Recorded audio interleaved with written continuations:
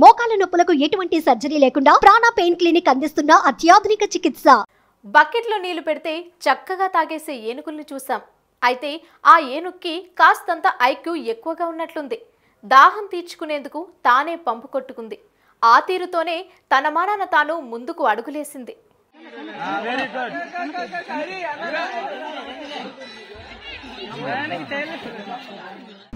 అకాల వర్షాలు పడిన చోట కాస్తంత వాతావరణం చల్లగా ఉంటుంది. కానీ చాలా చోట్ల ఎండలు దంచి కొడుతున్నాయి.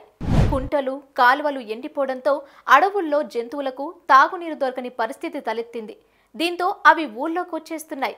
విజయనగరం జిల్లా పార్వతీపురంలో ఓ యంగ్ ఏనుక్కి దాహం వేసి నాలుక ఎండిపోయినట్టుంది.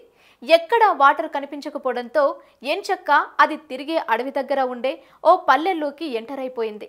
అక్కడ ఓ హ్యాండ్ పంపు కనిపించింది కానీ అక్కడ ఓ తొట్టె కానీ ఓ బకెట్ కానీ లేకపోవడంతో ఇదిగో ఇలా దాహం తీర్చుకుంది very good very good very good very good చాలు నేను తో తోడుతున్నప్పుడు తీయలేదురా తమ్ముడు తెలివితేటలేట్రా దొరకలేదురా సైడ్